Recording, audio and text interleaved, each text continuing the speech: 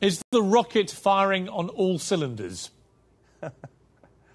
the rocket is almost firing on all cylinders. I, am not going to stay on the launching pad. I will definitely uh, uh, take flight, and uh, we'll see what happens. Um, uh, the, the, other day I threw, and I threw pretty well, and, and, maybe overextended myself a little bit, but I was trying to find out where I was at, so I go out here and hopefully uh, don't embarrass myself and, and help these guys a little bit. It will not be anything like five years ago because I'm not even close to being up to par, or have I trained. I've been telling people there's a difference. I've been working out and I've been throwing.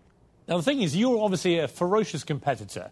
Nobody is buying this in the way that you're telling it. Everyone assumes that if it all goes well, uh, gonna, you're going to get all the scouts down there, the Yankees, the Reds, everyone's going to be charging down to see if the Rockets still got it. And if you have, and I suspect you're only doing this because you know you can still sling it down as fast as you used to, then they're all going to come at you with checkbooks and say, come on, come and help us out. And the Rocket will be relaunched back in the majors. This is what the real game plan is, isn't it, Roger?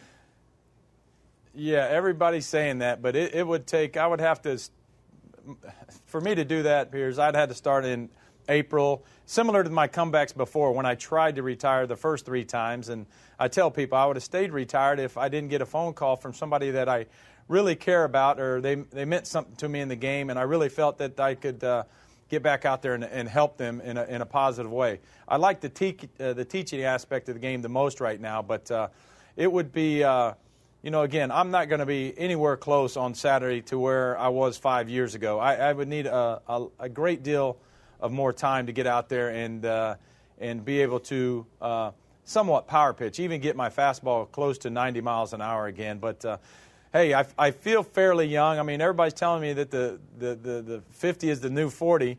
Uh, I say that, but check in with me on Sunday. I probably will be. I'll probably lose a couple inches in height, and uh, I'll be in an ice tank somewhere. My body responds well to ice. That's the good thing.